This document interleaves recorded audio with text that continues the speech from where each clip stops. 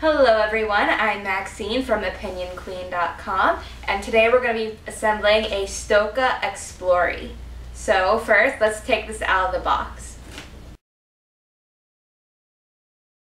The first piece that I have here is the canopy. It's going to fold up over the actual sitting area to help provide your baby with some relief from the sun. Piece in this box is the actual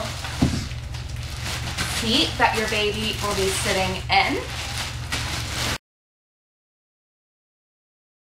Next piece right here is the safety bar so that baby doesn't get hurt and the bag that you can put things in under the stroller.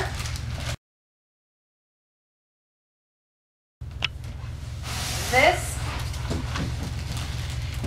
is the base of the stroller. Your baby's footrest. So, this is what it's looking like when it comes out of the box. And this is the collapsed position. So this is what it'll look like when you want to put it into your car or for taking places. But right now we're going to put this into the expanded position, which is how your baby is going to get the most use out of it. So, in order to do that, we have two white buttons down here right under the handle. And what you want to do is you want to push in and up with them. Now then, there's another part that you also want to be pushing at the same time, but this is with your foot. That's down here. Push in on this top part right here. So I will now demonstrate how you do that.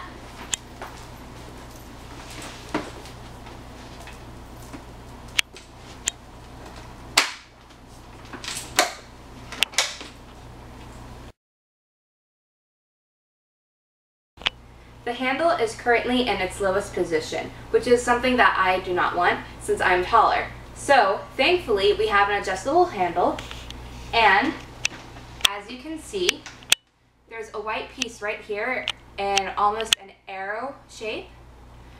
Lift up on that piece as far as it can go, and then again, possibly with your foot on the stroller, pull out towards you, and it can go to the exact height you want it at. Now we are going to put the baby's seat onto the stroller. So to do that, simply place it onto the stroller and when it snaps, you're good. Now we are attaching the footrest to the baby seat. So simply slide the footrest into the holes until it's secure.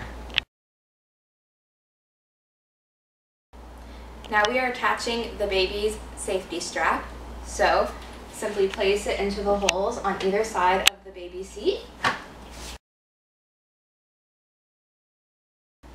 Now we are installing the baby sun canopy. So there are two pieces, one for each side, that you want to line up into the appropriate holes.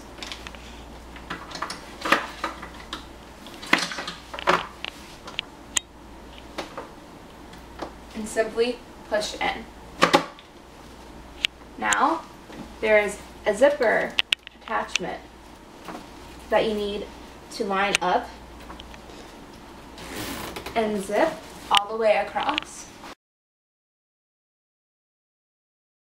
I flipped the seat around in the Stokke Xplory to demonstrate how an infant would use it.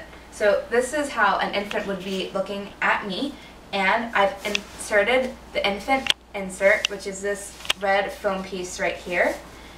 And I've slid the straps into the insert through the two holes. So that way the straps will hold the insert in place. This is the Stokke Xplory storage bag.